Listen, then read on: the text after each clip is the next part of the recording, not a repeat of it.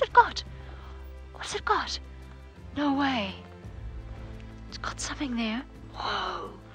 This is awesome. No, don't take it away from us. It's a crocodile. It's a crocodile, I promise you. It's a crocodile. Whoa. But uh, how? Where? Why is that? Why? How did this happen? Snappy! Oh no, Snappy! this is a first for me, at least. I have never ever seen a honey badger eating a crocodile.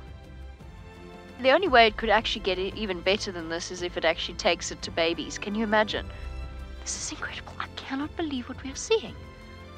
And we know that honey badgers are ferocious little creatures and they have a reputation for being pretty much unstoppable under all circumstances. But this, this is something quite unique. This crocodile is almost as large as the honey badger itself. Man, that is cool.